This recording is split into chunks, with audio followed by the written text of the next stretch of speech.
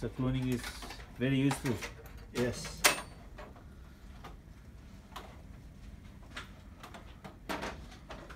All right, people, what we are trying to do here is we are trying to set up the server rack. This is um, this has come in as an ad hoc requirement for one of the clients. They are adding more capability in terms of the number of uh, PCs and the users. So they've asked for uh, additional server rack.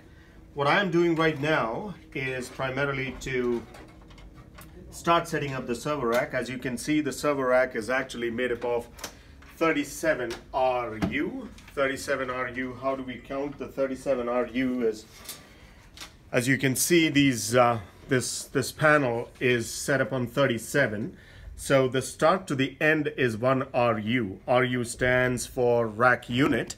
So like that, on this entire server rack, we have 37 RU.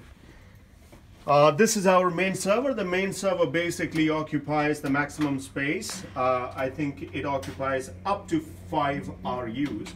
So we are left with only 32. Now in 32 RUs, we, uh, rack units, we have to plan how many switches will go in, how many, uh, how many routers will go in. Right now I was just fixing uh, the um, attaching panel for the for the router. And one router basically takes two rack units. So I think three of these routers will will take um, six rack units. And then one switch takes one rack unit each. So we are left with uh, six plus three so nine rack units.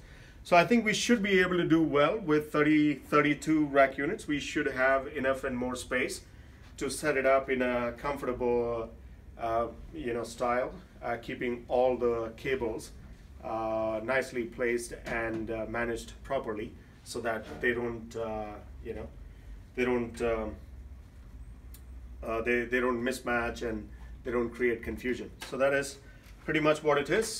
this is how it looks when it is the skeleton. I will show I will show you once it is completely ready. So you, you will have the before and after. So thank you.